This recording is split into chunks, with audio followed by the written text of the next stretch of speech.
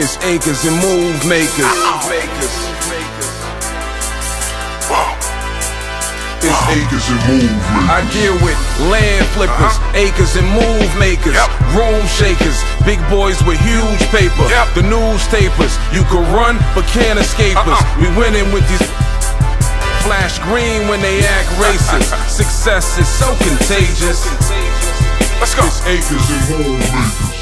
Welcome to Acres and Move Makers. My name is Ray. My name is Jay. and we are. The Acre Boyzz. Today we want to talk about how fast does land sell.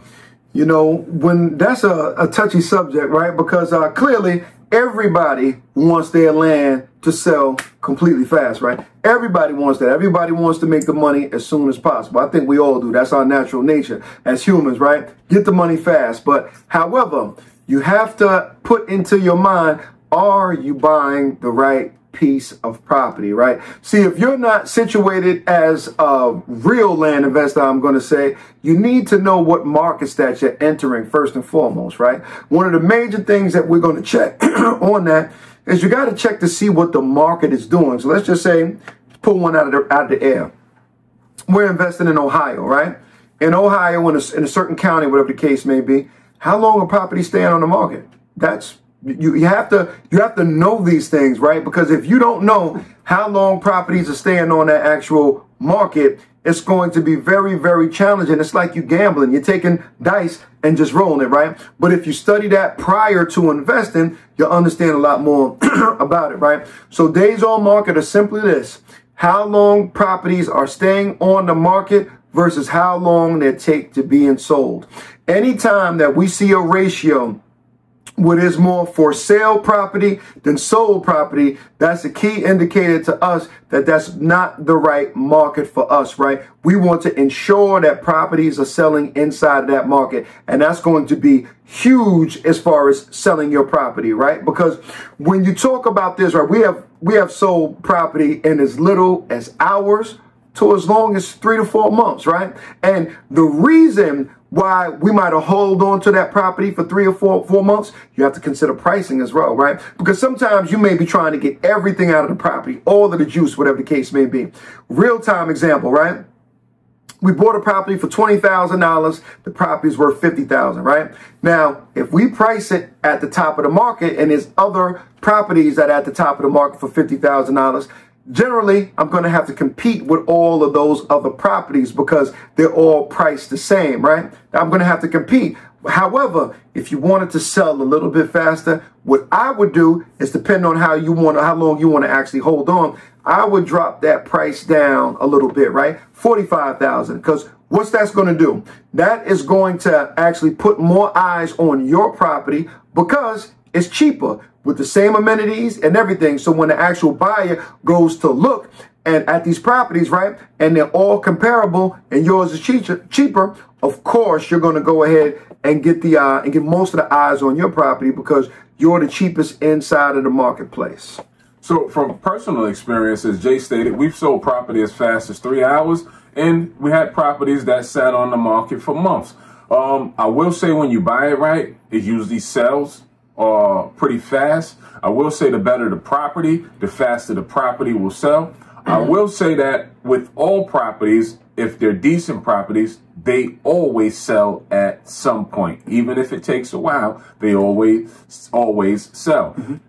As the investor, your job is to make sure that you're taking the necessary steps for it to have the best or highest probability of being sold fast. And what yeah. do those steps look like? That's look like look like making you have make sure you have the best pictures or best photos of your property, right? Mm-hmm. Make sure if it's a, a, a, property of a certain price point, you have drone shots. Make sure that you have uh, a good realtor that's on the property. Um, one of the fastest ways to sell properties is to have a buyer's list. Mm-hmm. So if you have a buyer's list in place already, you can just simply shoot that new property that you own to your buyers list and say, hey, I have another one. Or another thing you could do with a buyers list is ask them what they're looking for. What areas are they looking for? Mm-hmm. Um, we don't want to get in, we don't get into to pinpointing things that people looking for. For sure. We just go after what we're looking for and then we put it out there. But we have seen that work for other people, right? Especially when you're dealing with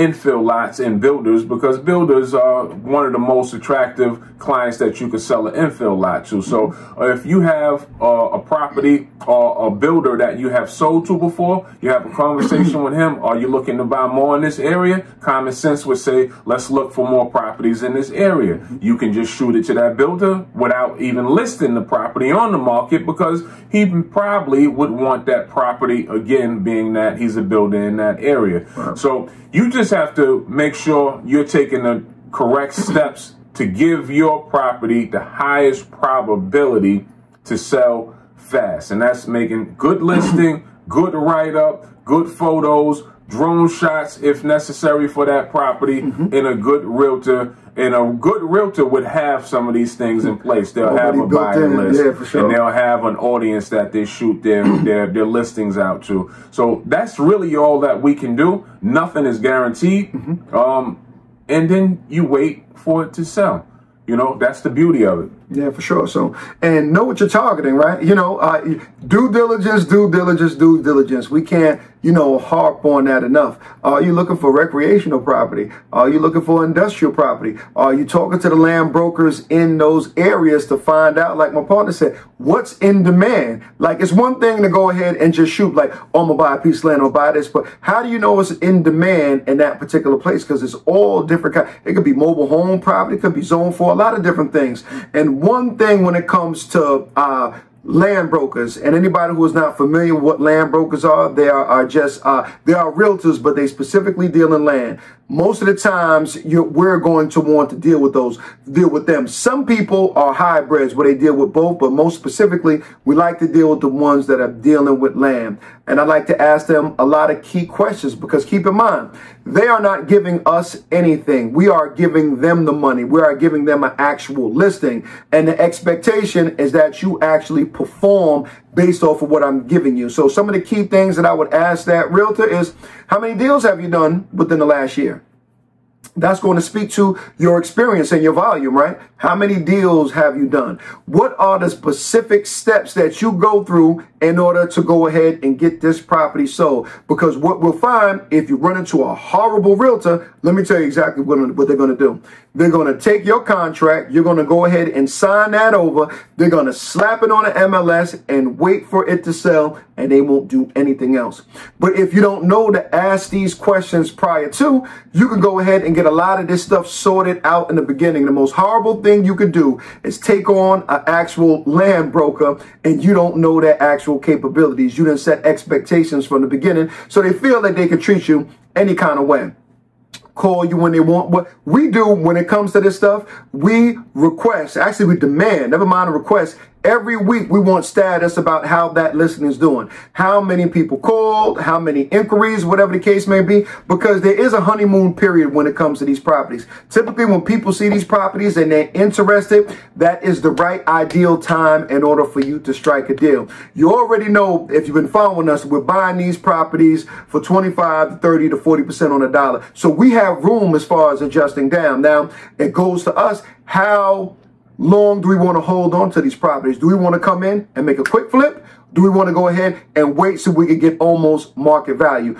Most times we go ahead and uh, sell the property below market value because we have so much room as far as equity inside of that deal. Get in and get out. That's the philosophy of the Acre Boyzz. Yes, sir. So if you find this content to be valuable, like, comment, subscribe, all that. Help us grow this channel. We'll continue to give you um, as much as free value as we possibly can. So until the next time, invest in dirt. It's the cleanest way to make money. Peace, y'all.